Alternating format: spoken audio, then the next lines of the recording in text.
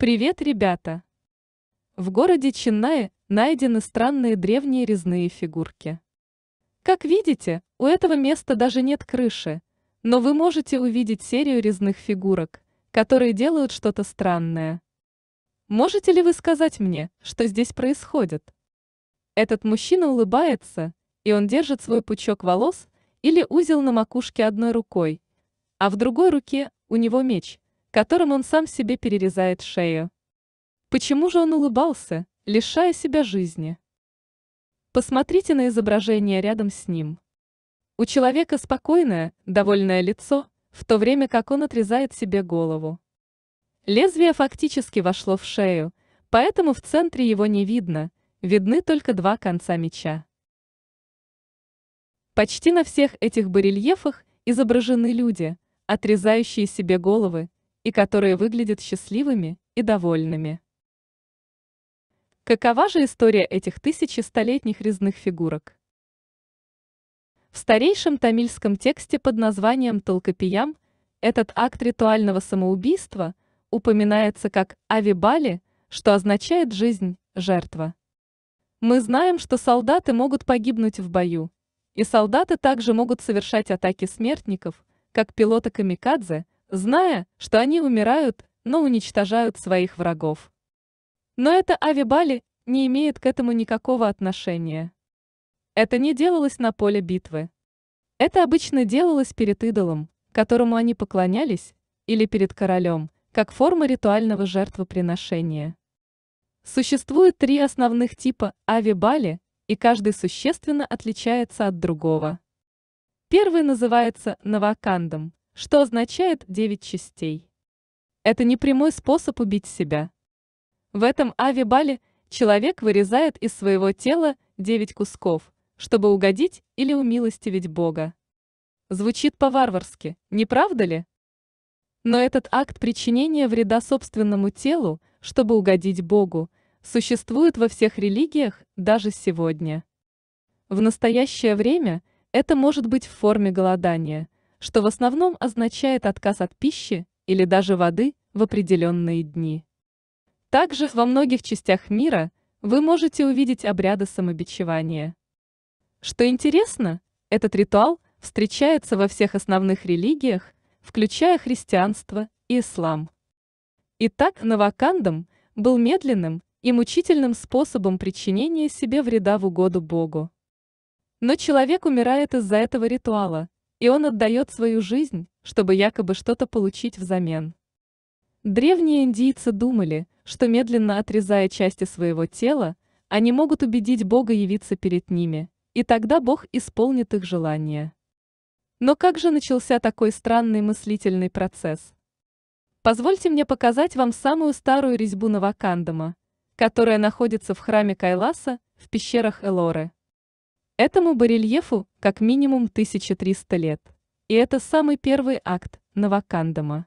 Можете ли вы мне сказать, что здесь происходит? Вокруг лингама расположены девять голов, а внизу можно увидеть фигуру, отрубающую себе голову. Это Равана, царь демонов, которого обычно изображают с десятью головами. И он был преданным Господа Шивы. И даже после многих лет молитв и покаяний Господь Шива не появлялся перед ним. Итак, Равана в отчаянии – начал отрубать свои головы, одну за другой, и предлагать их Лингаму. Но Господь Шива все еще не появлялся, и Равана был готов пожертвовать всем, чтобы получить то, что он хотел. Поэтому, когда он начал отрубать себе последнюю голову, Господь Шива наконец появился и дал ему то, что он просил. Это был самый первый ритуал – Навакандам. Поэтому Навакандам означает девять частей – и вы можете увидеть, как приносится в жертву девять голов. Так что традиция отрезать от собственного тела девять кусков в качестве жертвоприношения началась с Раваны. В другом древнем храме, в штате Карнатака, мы видим двух привратников, охраняющих лингам внутри. Слева вы можете видеть человека, исполняющего навакандом. Он на самом деле разрезает себе живот – и удаляет свой собственный кишечник. Это очень интересно потому, что это почти идентично сипуку или ритуалу харакири в Древней Японии. Что традиционно делали японские самураи, когда они провалили свою миссию?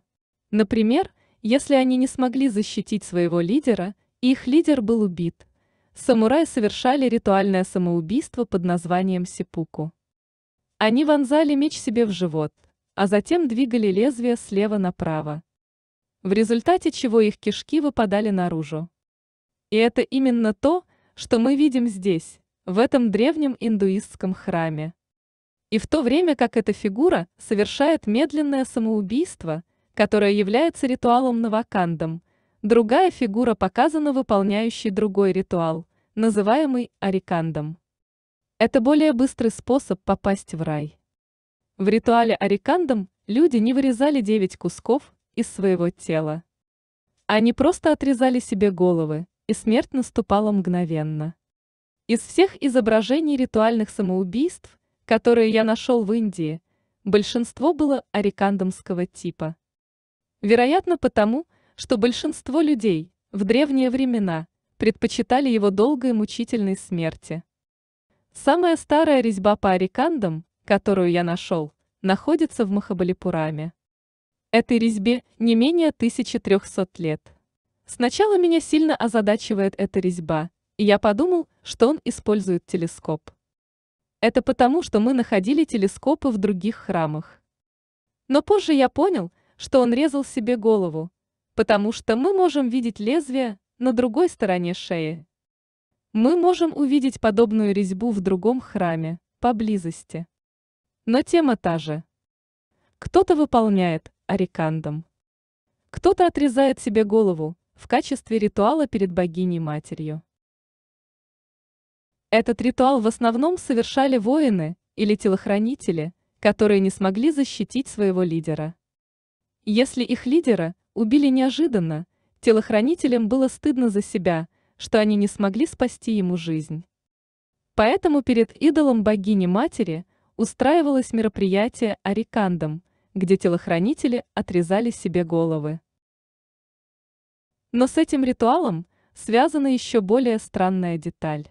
Если телохранители не смогли защитить своего лидера, то мало того, что они кончали жизнь самоубийством, их семьи, включая всех их потомков и родственников, должны были убить себя, иначе за них это сделает кто-то другой. Эта практика также была распространена в Японии. Если самурай не смог защитить своего лидера, весь его род должен был совершить ритуальное самоубийство вместе с ним. Получается, что из-за смерти вождя должны были погибнуть целые семьи его телохранителей. На первый взгляд это звучит варварски, и эти ритуалы легко отвергнуть как бессмысленные или религиозные суеверия. Но за этой практикой стоит веская причина. Итак, как проще всего убить лидера? Самое древнее и известное нам убийство было совершено 4000 лет назад. В Акадской империи царь Римуш был задушен. Кто же его убил? Его убили собственные придворные. Кто около 40 лет назад застрелил Индиру Ганди, тогдашнего премьер-министра Индии? Ее собственные телохранители. Даже великий Вита Корлеоне был расстрелян, потому что его телохранитель Паули в тот день якобы заболел. Итак, в большинстве случаев Лидера убивают из-за того, что его собственные телохранители выходят из-под контроля. Так что же происходит, когда внедряется такая система, как Арикандом? Если вождь погибает от неожиданного нападения или даже при загадочных обстоятельствах, что обычно означает отравление, то телохранители и целые семьи телохранителей должны убить себя на глазах у всех. Если они этого не сделают, кто-то сделает это за них. И эта система была введена, чтобы быть уверенными, что телохранители не станут мошенниками и не станут коррумпированными. Представьте, если бы такое правило существовало сегодня. Ни один телохранитель не стал бы обманывать лидера потому, что это стоило бы жизни ему и всей его семье. Пока мы видели только два типа ритуальных самоубийств. Но есть и третий тип, и это самая причудливая практика. Посмотрите на это.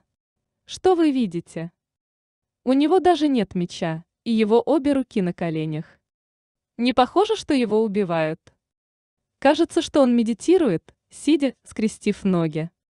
Но посмотрите на его голову, она больше не прикреплена к его телу, его шея здесь, а голова отделена от шеи. Что же здесь происходит? Ключевая деталь, которую вы упустили, находится с этой стороны. Вы можете увидеть полуарку, и она как бы изгибается и соединяется с его головой. В этой резьбе тоже можно увидеть ключевой элемент. Нет, это не этот ключ на гвозде. Это полуарка. Вы можете видеть ее с правой стороны, и она опять как бы изгибается и соединяется с головой. И это реальная вещь. Посмотрите, что местные жители узнали ее и добавили к ней куркуму и киноварь. Так что это за полуарка? Это длинная гибкая бамбуковая палка. Один ее конец прочно воткнут в землю, а другой привязан к голове человека со значительным натяжением бамбука. Палка остается согнутой только из-за веса тела человека. Этот человек обычно сидел и молился какое-то время в этой медитативной позе, а затем отрезал себе голову. В некоторых случаях другие люди помогали ему взмахом меча. Что произойдет дальше? Бамбуковая палка придет в движение вместе с головой, и его кровь разольется вокруг. Палка выгибалась только из-за веса тела. Так что как только тело отделялось, палка распрямлялась, разбрызгивая кровь из головы. И особенно на вот этого парня. Так кто же он? Он аватар Господа Шивы, потому что рядом с ним можно увидеть его верховое животное, Нанди или быка. Посмотрите, что он единственный парень, не показанный убивающим себя, в то время как все остальные совершают самоубийство. Этот тип ритуального самоубийства с помощью бамбукового шеста назывался Тхунгуталая. Это считалось благодатью, и все присутствующие давали торжественную клятву достичь цели мертвеца. Например, он мог сделать это для своего клана, чтобы выиграть войну.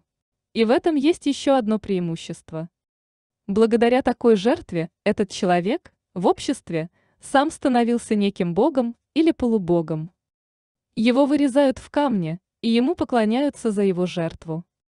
Посмотрите сами, на большинстве из этих резных фигурок, которые вы видите, намазана свежая куркума и киноварь, а иногда местные жители кладут монеты в качестве подношений. Так что местные жители и сегодня поклоняются этим воинам даже через тысячу лет. Таким образом, вы видите, как древняя история не только сливается с религией, но и продолжает оставаться частью культуры Индии. Я надеюсь, что это видео было для вас интересным. Ваши мысли пишите в комментариях. Я Правин Мохан. А в мире еще много загадок, но в один ролик они все не поместятся. До новых встреч! Спасибо за просмотр. Все ссылки на источники информации в описании под роликом. Так что пишите комментарии, жмите на пальцы, делитесь этим видео с друзьями, подписывайтесь на канал, ну а мы пока поищем что-нибудь интересное для следующего ролика. Монтаж, перевод, озвучка и анимация студии Эльмукон.